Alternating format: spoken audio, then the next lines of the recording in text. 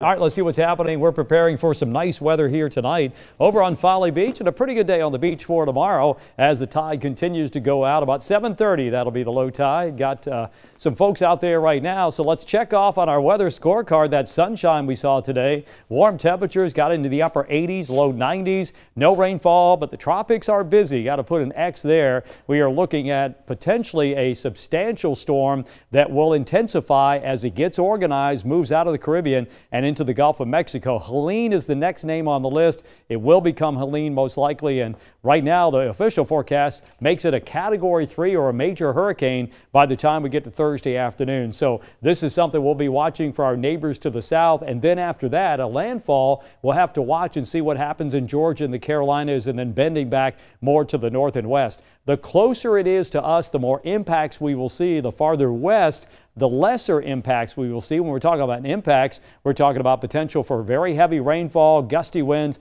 even isolated tornadoes, and of course the marine influences in terms of surge. Most of our spaghetti models are kind of clustered more to the west, but there are a couple that are kind of outliers more east, and that would be the track we do not want to see down the road Thursday night and into Friday morning. So here's our European model. As we move through time, you can see that rain shield making its way in towards the west coast of Florida. That is Wednesday evening. And then as the storm continues to pull more north, we start to see that rain shield move into our area. So at the very least, even if you're far displaced from the center, you're going to feel some impacts, at least in the form of some rain and gusty winds. High pressure now to the east. What we think that is going to do, that's going to help to push the storm more back to the north and west. And you're going to see that in the upper level winds. So let's follow the storm. There it is, Helene, most likely. We've got high pressure offshore. We've got a low pressure that's going to be forming and moving down to the south. So watch as we move through time. With the high pressure offshore and the low here, it's going to be pinched right in between. If that high weakens a little bit,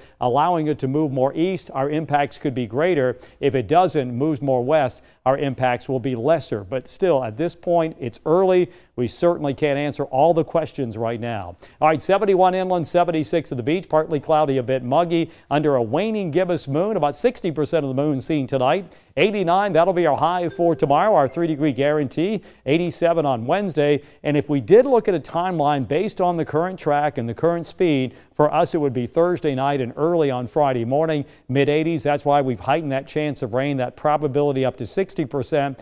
Still a bit iffy for the weekend, so we've got to hang tight there. If you've got some outdoor plans, stay with us over the next few days. Islands and beaches, great beach day tomorrow, 81. Not too bad on Wednesday. And then here comes the rain and the gusty winds on Thursday and Friday. And here comes our three degree guarantee right on the money today for the Low Country Food Bank. That means we have another $100 in budget blinds headed their way. So far, $1,500 is money in the bank.